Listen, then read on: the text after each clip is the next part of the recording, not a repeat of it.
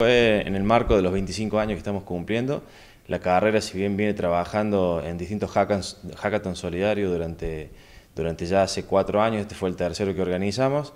Este año el desafío fue hablar con la gente de la Tecnoteca que tenía puntualmente una, una inquietud, una, un desarrollo, un, un, problema tecnológico para solucionar.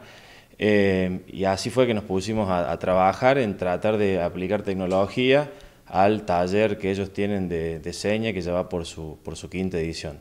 Eh, lo que nosotros desarrollamos fue trabajar sobre, videos que ellos ya tienen que distribuían a la gente que estaba eh, inscripta en los talleres de seña y fue eh, eh trabajar en, cortarlos, en eh, aplicar la tecnología, cortarlos, agregar como GIF animado que hoy, se utiliza mucho y hacer que la gente pueda buscar de manera simple, de manera rápida, una palabra específica eh, cómo se dice en lenguaje de señas. Bien, ¿cuántas personas participaron en, es una aplicación, verdad, en desarrollarla?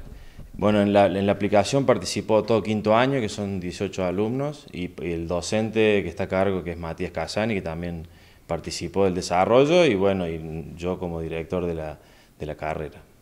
Bien, entonces esta aplicación o sea, está disponible para quien la quiera usar. Sí, está disponible, se puede descargar desde Google Play, la pueden buscar como Lenguas de Seña Tecnoteca, eh, un ratito antes de venir ya tiene más de 500 descargas, así que bueno, estamos, estamos bastante contentos con la, con, la, con la repercusión que ha tenido, porque significa una, una herramienta que se utiliza y que, que es útil. Eh, y la idea que tiene Tecnoteca para más adelante es seguirle agregando distintas... Eh, distintas eh, formas de decir otras palabras un poco más avanzadas.